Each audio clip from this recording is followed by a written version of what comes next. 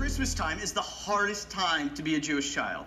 But just because our religion is over 5,000 years old doesn't mean that we can't add some more Funica to Hanukkah. Introducing the Mensch on a Bench. The Mensch on a Bench is the new Jewish family tradition designed to bring more fun and more memories to your household.